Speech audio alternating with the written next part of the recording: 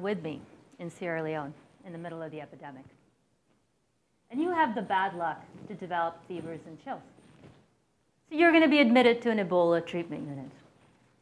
But, you know, you could have malaria, you could have cholera, you could have yellow fever. So this is what we're going to do. We're going to test your blood. If you're positive, we'll move you to a confirm ward. If you're negative, you can take a shower and you can go home. So you're okay until you realize that even if you don't have Ebola, one of your friends in the suspect ward might. If you weren't exposed to Ebola before, you will be now. Because in reality, Ebola treatment units don't look like the sanitized graph I just showed you. They look like this. This is my Ebola treatment unit from August 2014. I'm the short one in the middle. That's usually the case. Unfortunately, you're not going to get your blood results for another three days because there are only two laboratories in the entire country that run this test. Now, fast forward to November 2014, a few months later. Billions of dollars in aid in the field. Many agencies are in the field. And yet, you're still not going to get your blood drawn for a few days. What's going on? So since it's a real story, I can tell you how the rest of this ends. There's a national lab working group that's formed, and they investigate this. And they find out that all the blood that's drawn in this epicenter of the Ebola outbreak is drawn by two guys uh, hired by the government. And these two phlebotomists go everywhere together because they only have one bike between them. And by the way, people forgot to put gas money on the budget line, which means that they pay out of pocket. And when they don't have cash, they can't travel. Billions of dollars later, many agencies on the floor, and we're still propagating the epidemic, sending people out who are now exposed to, uh, to the Ebola epidemic that weren't before. So, what could have been done? We could have had better coordination during the outbreak. We could have had better healthcare systems to begin with. We could have had better surveillance for infectious diseases. How about something that underlies all of that? Good governance at the national level. The idea of global health security is the fact that we're all connected because infectious diseases can cross borders and affect all of us. They can be emerging pathogens like Ebola, SARS, MERS, Zika. They can be infections that can be weaponized, like anthrax. They can be infections that are so pervasive that they can destabilize political, economic, and social infrastructures, like HIV.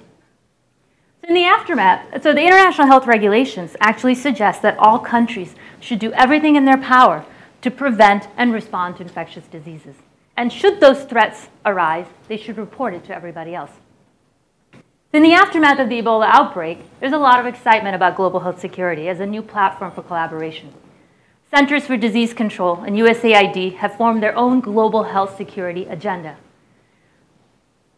Plans of action include creating laboratory capacity, training healthcare workers, strengthening the public health system. But nowhere on that, on that agenda is governance or the impact of poor governance and specifically corruption on the response to outbreaks. In fact, none of the many reports that came out in the aftermath of the Ebola outbreak actually deal with that. Now, don't get me wrong, there's a lot of blame to go around. International agencies, WHO, media. But outbreaks, uh, corruption during outbreaks are particularly pernicious, and I'll, I'll show you how. Transparency International ranks Guinea as 150 out of 177 on their corruption rank. The higher you are, the worse it is. Sierra Leone, 117. Liberia, 83. So this is how corruption can hurt. First, it can take away resources directly from the outbreak response. In Sierra Leone, about one third of the money that made it to the ground for Ebola is unaccounted for. Turns out those missing bikes, only the tip of the iceberg. Money, uh, monies that were set aside from outreach uh, programs and for sensitization programs disappeared unidentified uh, members of individuals that the payments were made out to instead of organizations. Procurement uh, routes were not followed. Salaries to healthcare workers not, were not paid out as they should have been. So there were healthcare worker strikes and no care for Ebola patients. The other way that the outbreak, the corruption can impact outbreak response is actually by directly propagating the disease. Petty corruption contributed to uh, hampering containment efforts like roadblocks, quarantines, body retrievals, burials. Liberia put West Point, one of its most populous communities, under quarantine after a rash of cases arose there. But it was very easy to get out. All you had to do is bribe the military or the police officer who was standing outside. Families could actually bribe uh, burial workers to create certificates that said that their loved one didn't die of Ebola and hence could be released for a traditional burial. WHO in 2014 said that 60% of new cases in Guinea and 80% of new cases in Sierra Leone of Ebola were from unsafe burials. Third way that it can do that, it can affect legitimacy. Jillian Kohler, uh, who is the director for WHO Collaborative on Governance, Transparency, and Accountability, suggests that there are three ways that corruption can impact public health sector.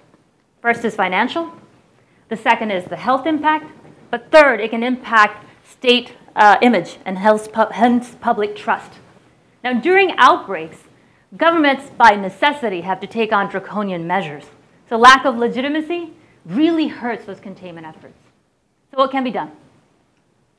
This is a chicken doing triage for Ebola. Not as a good strategy. the first, as Dr. Kohler suggests, is to create better, uh, better funded aid administration.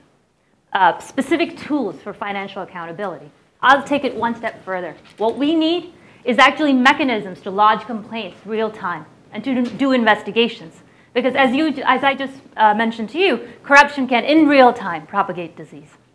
Two, when we talk about corruption, often the answer that is given is build a stronger civil society.